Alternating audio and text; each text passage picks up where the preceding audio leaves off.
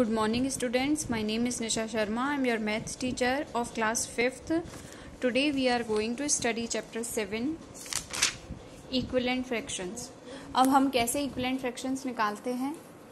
वो आज हम देखेंगे। So in our previous video we have already studied this these topics comparing fraction concept of equivalent fraction and comparing fraction with equivalent fractions ये सारी चीज़ें हम पढ़ चुके हैं। ओके? इक्वलेंट फ्रैक्शंस कैसे निकालते हैं?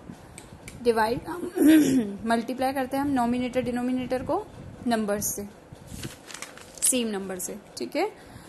आज हम करेंगे exercise seven so let's start the exercise question number one find the equivalent fractions of the following by multiplying two to numerator and denominator अब हमें वो बोल रहा है कि आप इक्वलेंट फ्रैक्शन निकालिए फॉलोइंग क्वेश्चन को वन बाय टू को जैसे कि क्वेश्चन नंबर वन लेते हैं वन बाय टू है ठीक है? वन बाय टू को क्या करना है? मल्टीप्लाई करना है टू से किसके साथ? न्यूमरेटर में भी और डिनोमिनेटर में भी। तो वन बाय टू को हम मल्टीप्लाई और आ, दोनों साइड मल्टीप्लाई करेंगे तो कुछ इस तरीके से करेंगे ठीक है? वन बाय टू को न्यूमरेटर में भी डिवाइड मल्टीप्लाई कर रखा है और डिनोमिनेटर में मल्टीप्लाई कर रखा है। तो हमारा आंसर क्या आ जाएगा? टू वन जा टू एंड टू टू ज़ा फोर। तो हमारा वन बाय टू का इक्वलेंट फ्रैक्शन क्या हो गया? Two by four. ठीक है? हमारा आंसर हो गया ये इस तरीके से। नेक्स्ट क्वेश्चन लेते हैं। Now question number second two by three. अब टू बाय थ्री में भी अगेन हम मल्टीप्लाई करेंगे न्यूमिनेटर डिनोमिनेटर को टू से। ठीक है? तो किस तरीके से करेंगे? Two by three multiply by numerator two है डिनोमिनेटर थ्री है टू से मल्टीप्लाई करेंगे दोनों साइड तो हमारा आंसर आ जाएगा टू टू ज़ा फोर एंड थ्री टू ज़ा सिक्स ये हमारा आंसर हो गया फोर बाय सिक्स यानी कि टू बाय थ्री का इक्वलेंट फ्रैक्शन क्या हो गया? Four by six again next third one क्या है? वन बाय फाइव का इक्वलेंट फ्रैक्शन निकालना है हमें टू को मल्टीप्लाई करके न्यूमरेटर और डिनोमिनेटर में.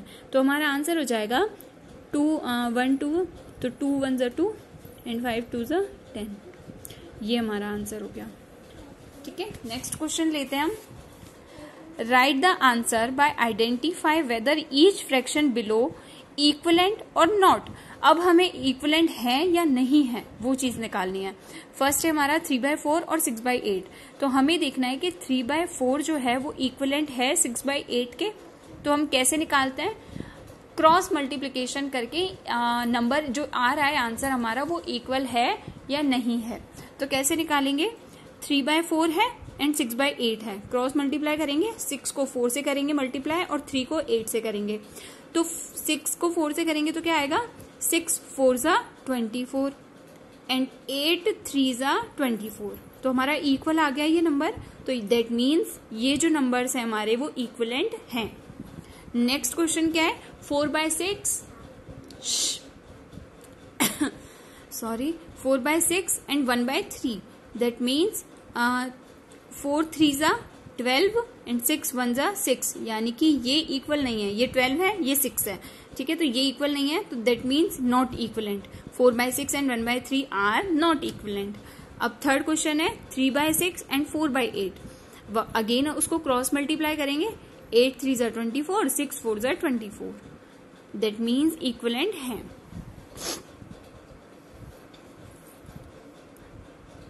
उसके बाद अगेन हम आ, इसके जो नेक्स्ट क्वेश्चंस हैं डी ई एफ़ ये आप खुद से करेंगे क्रॉस मल्टीप्लीकेशन करके.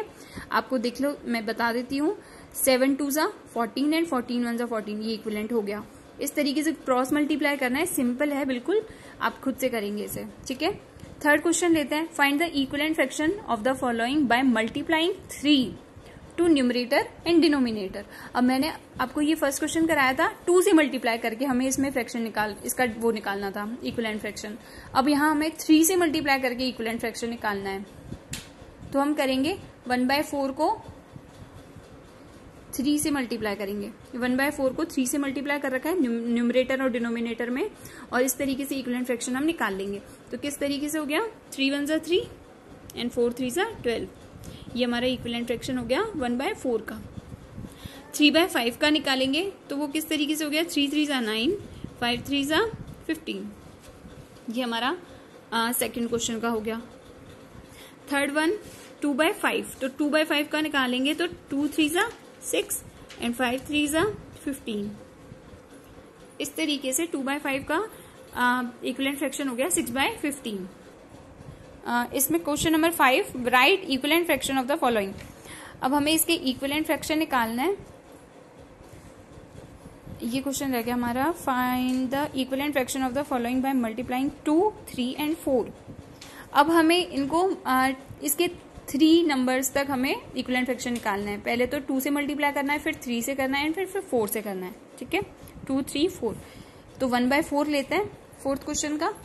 यानी कि वन बाय फोर अब टू से किया पहले, जो आंसर आया वो लिखेंगे।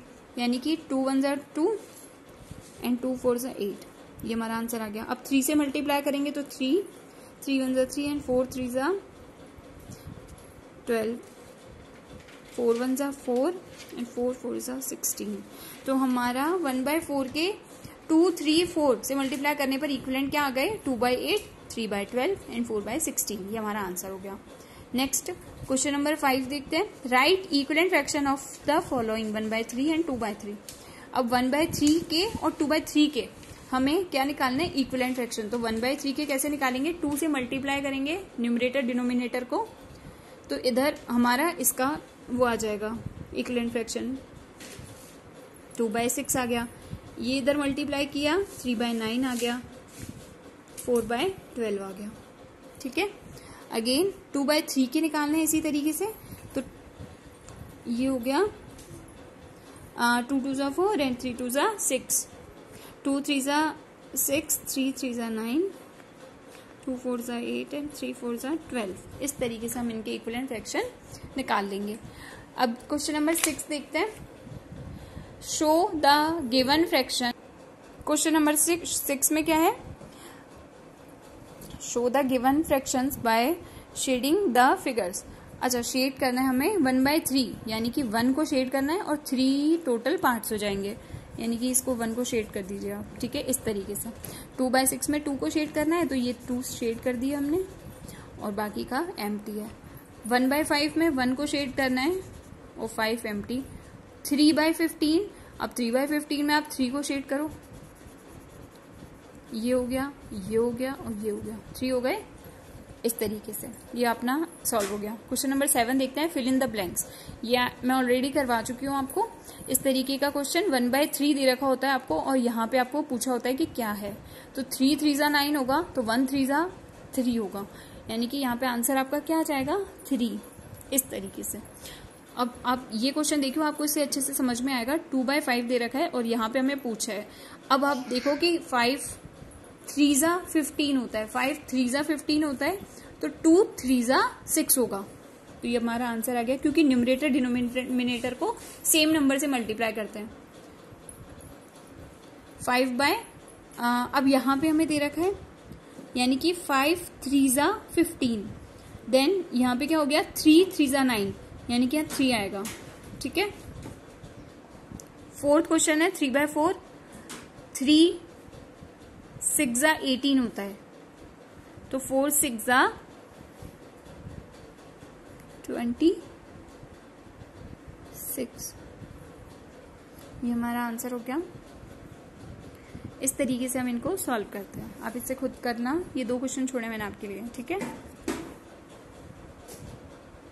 Find out four equivalent fractions of each of the following fractions अब इनके फोर इक्वलेंट फ्रैक्शंस तक निकालना है। यानी आप इसको पहले टू से मल्टीप्लाई करो, फिर थ्री से मल्टीप्लाई करो न्यूमरेटर डिनोमिनेटर को, और इस तरीके से four multi four equivalent fractions आप निकालोगे। नेक्स्ट क्वेश्चन देखते हैं। Give such example in which one by four part obtained by distributing equally अब देखो, इसमें क्या कर रखा है? फोर की टेबल चल रही है इसमें। फोर टाइम्स चल रहा है। वन बाय फोर हो गया टू बाय एट हो गया थ्री बाय ट्वेल्व हो गया।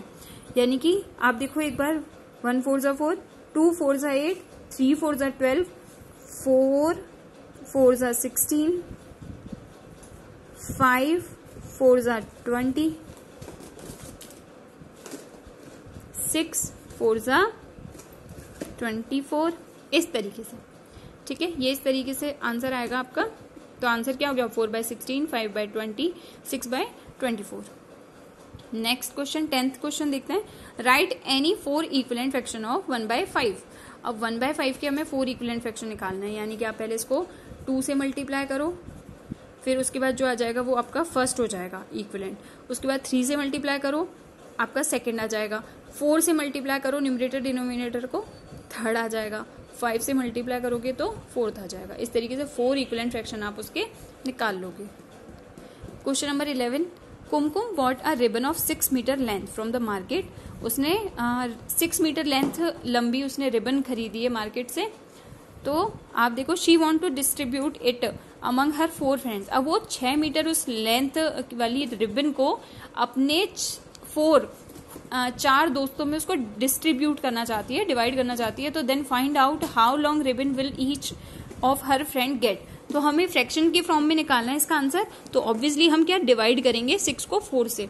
तो हमारा आंसर आ जाएगा सिक्स बाय फोर ठीक है? आंसर या तो सिक्स बाय फोर लिख सकते हो, ये है ना डिवाइड हो रहा है टू से तो हम इसे क्या लिख सकते हैं? टू से डिवाइड करोगे तो क्या आ जाएगा? टू थ्री ज़ा सिक्स होता है और टू टू ज़ा फोर तो थ्री बाय टू भी आंसर आ सकता है और आपका सिक्स बाय फोर भी आंसर आ सकता है। नेक्स्ट क्वेश्चन लेते हैं twelfth Saraswati needs one one and one by four metre cloth to make a shirt अब एक शर्ट बनाने के लिए उसको कितना मीटर कपड़ा चाहिए? वन फोर्थ कपड़ा मतलब वन मीटर और one fourth metre one plus one fourth metre उसको कपड़ा चाहिए एक शर्ट के लिए।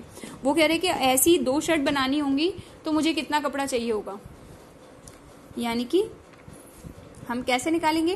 पहले तो ये one and one by four क्या हो गया हमारा? फाइव बाय फोर लिख सकते हैं इसको हम। ठीक है? अब फाइव बाय फोर मीटर में हमारी एक शर्ट बन रही है तो दो शर्ट बनाने के लिए हमें मल्टीप्लाई कर दिया टू से। तो फाइव टू ज़ा टेन हो गया एंड डिवाइडेड बाय फोर हो गया।